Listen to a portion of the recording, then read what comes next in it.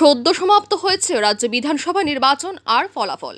ফের একবার রাজ্যে প্রত্যাবর্তন ঘটেছে বিজেপি সরকারের। জনতার রায়ে বিপুল ভোটে জয়ী হয়ে ফের বিধানসভায় পৌঁছেছেন ফটিকরায় বিধানসভার যুবনেতা বিধায়ক সুধাংশু দাস। ব্যাপক উৎসাহ উদ্দীপনার মধ্য দিয়ে ফটিকরায়ে বিজয় মিছিল করল বিজেপি। বিজেপির জয়ের আনন্দে রাজ্যের দিকে দিকে চলছে বিজয় উল্লাস। রবিবার ফটিকরায় বিধানসভায় হয় পঞ্চায়েত ভিত্তিক বেশ কয়েকটি বিজয় মিছিল। বাজে পটকা ফাটিয়ে গেরো আবিরে একে অপরকে রাঙিয়ে বিজয় উল্লাসে মাতেন কর্মী সমর্থকেরা। গোটা বিধানসভায় বেশ সাড়া ফেলে বিজেপির এই বিজয় মিছিল। ফটিকরায় মণ্ডলের সাধারণ সম্পাদক মনোজ পাল চৌধুরী জানিয়েছেন, মানুষ বিজেপির প্রতি আস্থা রেখেছেন। আগামী দিনে মানুষের স্বার্থে এলাকার অসমাপ্ত কাজ সম্পন্ন করার বার্তা দিয়েছেন। দ্বিতীয়বারের মতো বিজয় মিছিল যেটা হচ্ছে এই রাজ্যের জনতা বিজেপি দলকে ভালো পেয়েছেন, যার জন্য আমাদের পার্টি দ্বিতীয়বার ক্ষমতায় এসেছে।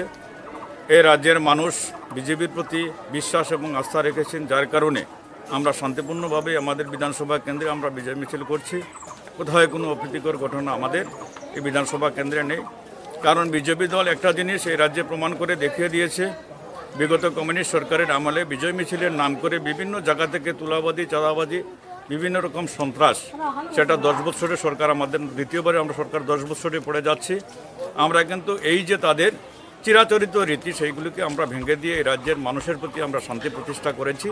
রাজ্যের মানুষ শান্তপূর্ণভাবেই আমাদের এই বিজয় মিছিলে অংশগ্রহণ করছে। বছরে প্রচুর কাজ করেছি। আমাদের অর্ধসমাপ্ত যে কাজগুলি রয়েছে সেইগুলি আমরা সমাপ্ত করব।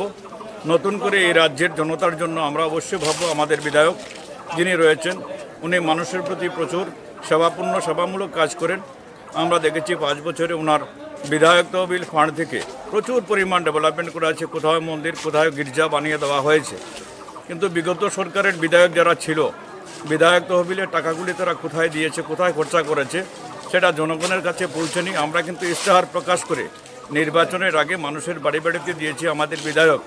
ওনার কোষাগার থেকে যে টাকাগুলি খরচা করেছেন, সেটি কোথায় কোথায় খরচা হয়েছে, যার কারণে এই জয়টা আমাদের একটা বিশাল মার্জিন জয় হয়েছে এবং জনগণ আমাদের পক্ষে রয়েছে। দু হাজার আঠারো সালে এই কেন্দ্র থেকেই বিজেপির হয়ে লড়ে বিপুল ভোটে জয়ী হয়েছিলেন সুধাংশু দাস। একইভাবে এবারেও গত বিধানসভা নির্বাচনের তুলনায় আরও বেশি ভোটে জয়ী হয়েছেন তিনি।